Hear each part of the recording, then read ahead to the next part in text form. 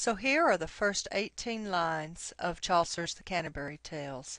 And I know this probably looks funny to you. This is written in Middle English, and I wouldn't make you read it yourself, but I wanted you to see it so you'd have an idea of the language spoken by the common people during Chaucer's time.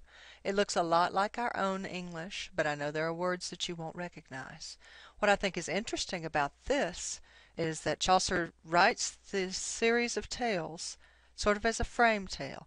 The storyline is that all these people have gotten together. They're going to go on a pilgrimage to Canterbury.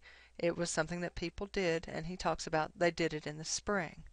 And this opening set of lines reflects perfectly the great chain of being that people believed in. He gets radical later on, but in this, in his opening, maybe the stuff that the authorities would look at first, who knows?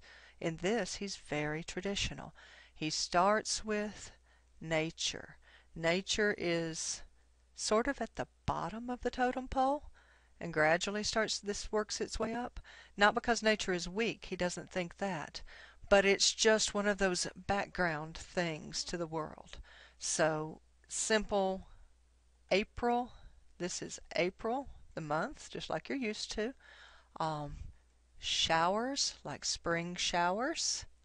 Um, these things are at the root of things. Let me read you how this says then, this first step on our chain of being.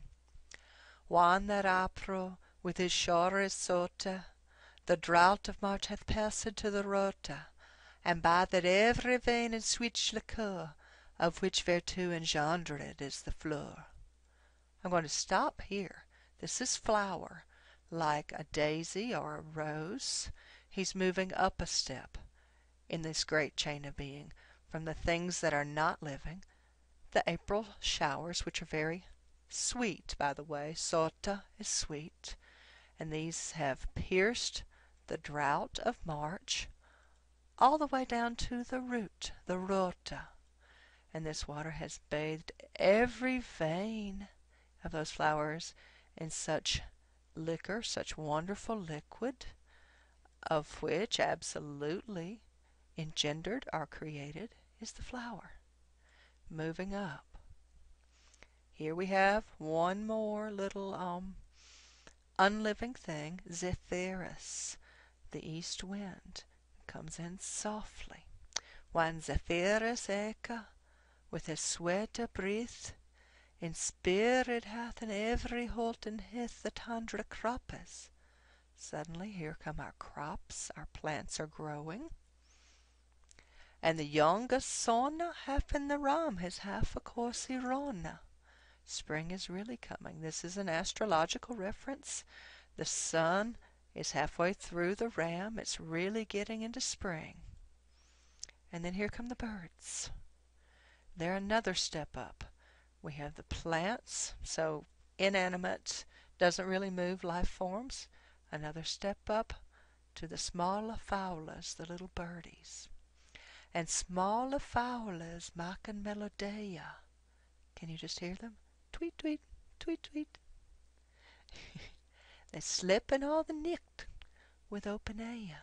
They sleep all night with their eyes open. You know why? Because so pricketh him natur in her courages. And that means nature has been poking them so much in their hearts that they're so excited that they sleep all night with their eyes open. They don't really sleep. They're too excited. So when nature's all excited, suddenly we move, we move a big step up this chain of being. People get excited too. First of all, just regular people, folk. Then longing folk to go on pilgrimages our regular folk want to get out and do something. And what's a safe way? What's a socially acceptable thing to do to get out and play in the springtime? A pilgrimage, absolutely. And palmarus, fortisecond, stranges, strandis. Some more of these people. We're looking for strange lands, some adventure, but again, socially acceptable adventure. Okay? To furnish always Kuthin sundry landes, things that are known in all these other sundry or varied lands. and specially, especially from every shirra's enda, from the backside of beyond, places like where I'm from, the ends of the shires of the counties of England, of England, to Canterbury they wenda, they go to Canterbury, especially from all the little places and the little shires in England. All these pilgrims are going to go to Canterbury. It's a big deal, big pilgrimage. And why? One more step up the chain of being. Better than regular people? Obviously, the saints, the martyrs, right?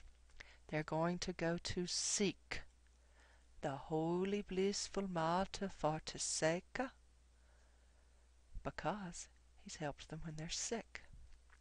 That him hath holpen when that they were sick.